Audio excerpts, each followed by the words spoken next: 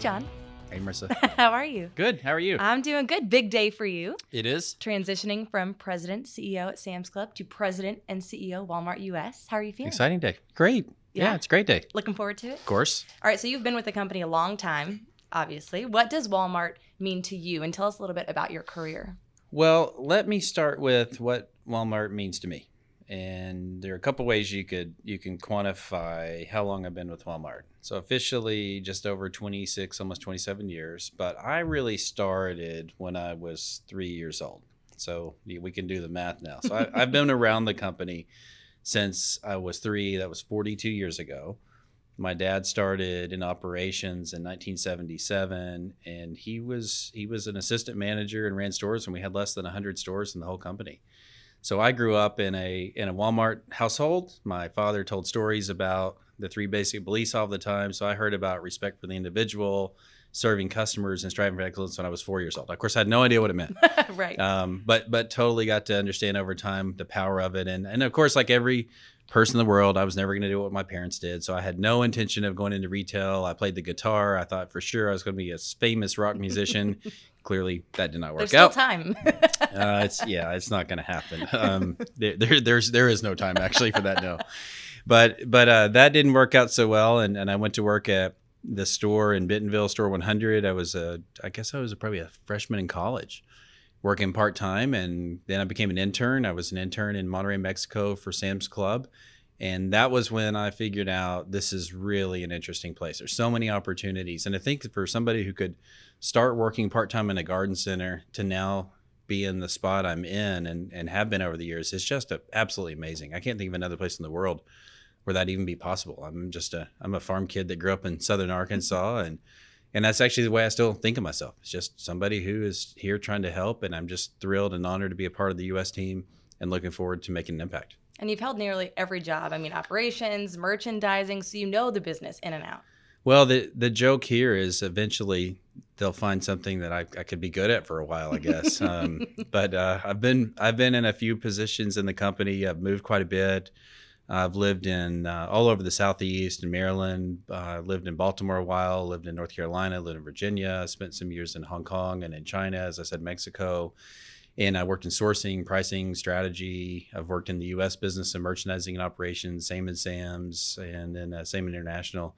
And then the last few years have been really exciting because we've had so many changes here in the digital space. We've had a lot of innovations happen in in Sam's Club, and and we've made a lot of progress on taking the friction out of the workplace and finding new ways to take friction out of shopping for members. It's been really exciting to, to really infuse technology into the center of what we do. Absolutely. And reprioritizing the customer is something that you're very passionate about. So explain what you mean by that and how technology plays a part in that.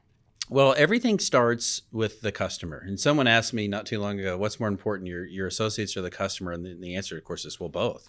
Um, you can't do this without either one. But we have to prioritize what it is we do for customers in a way that no one else in the world can do. And then we have to continuously improve it. Um, because the way you, you got to think about loyalty sometimes in retail is the lo- is loyalty is the absence of something better. And so it's our job to continually find ways to make it better. And that can be better products, it can be better prices, it can be removing friction. And you'll hear me talk about that a lot. And friction is everything from it takes me a bit too long to check out, or it takes me a bit too long to get a card, or when I'm online, the basket just doesn't load the way it should. So every little bit of time we take away from people is something we should be working on improving. Absolutely. Now, you talked about your time in China. Mhm. How did that experience shape you into the leader you are today? Um, it was a it was a really interesting time for me and my family. Um, anytime you get to spend time like that away with your family is great, and and and first of all, it makes you stronger as as a group of people, but also it gives you some time to reflect. And I'd been in in Sam's Club here in the U.S. and Walmart for a long time, and and I had saw it from the inside, and it gave me a couple years to see it from the outside. And I was still part of the company and still employed. I don't mean that mean it like that, but nevertheless, um, it, it gives you a chance to reflect. And what I realized when I got away from it is I was spent too much time trying to get all the work done and not enough time thinking about the impact I was having on other people. And this was an interesting experience because I knew when I was starting and I knew I was leaving. And when you know you're leaving at a certain point in a business, then you just reframe everything. And it's not about you anymore. It's all about getting them ready so that they're better when you're gone. Absolutely. What, how would you explain your leadership style? What should associates expect? Um, think of it as uh, I like to empower people. I like to find the very best people with that are energetic and enthusiastic and innovative. And then it's about finding ways that every one of us can can play the biggest part we can possibly play to contribute.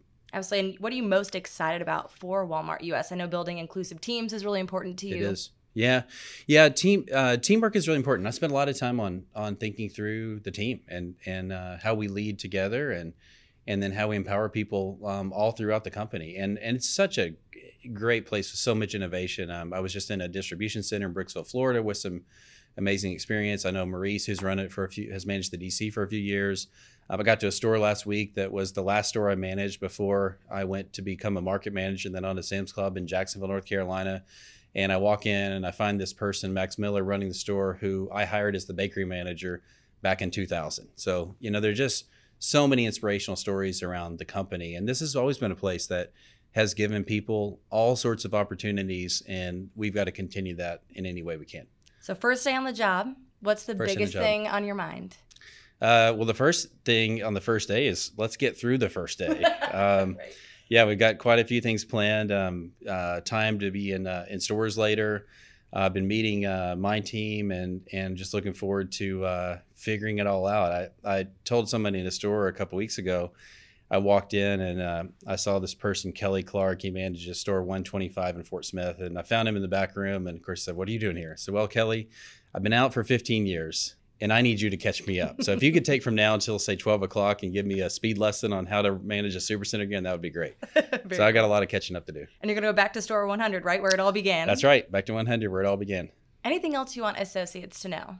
Well, it, it's just important to remember, you know, why why we do this. We make a difference in millions of people's lives each and every day, and what we do, it really matters. It matters to our family, it matters to our friends, it matters to our customers, and people need us um, at a time when things can be a bit divisive and the world's a bit crazy and there's a lot going on and, and different complexities in people's lives.